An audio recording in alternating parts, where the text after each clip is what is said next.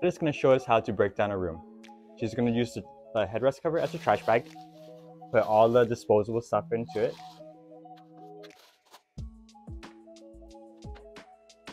And then for the sharps, we're going to place it into the sharps container. The carpules will go into the trash can.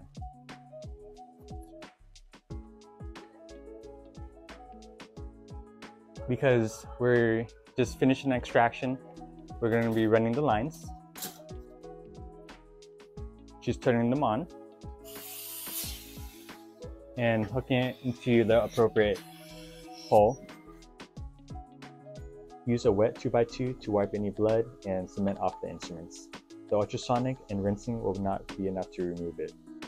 Remember to place the instruments in the same order as the sheet.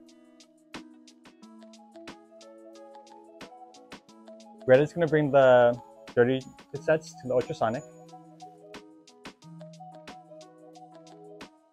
Rinsing the instruments underwater.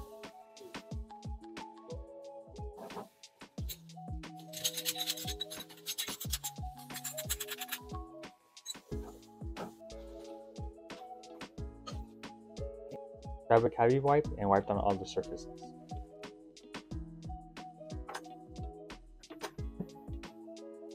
Wiping the goggles, and very important is to dry them after.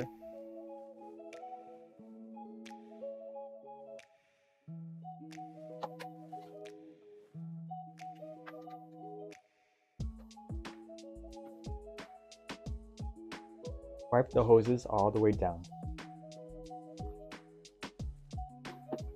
making sure not to throw away the attachment for the saliva ejector.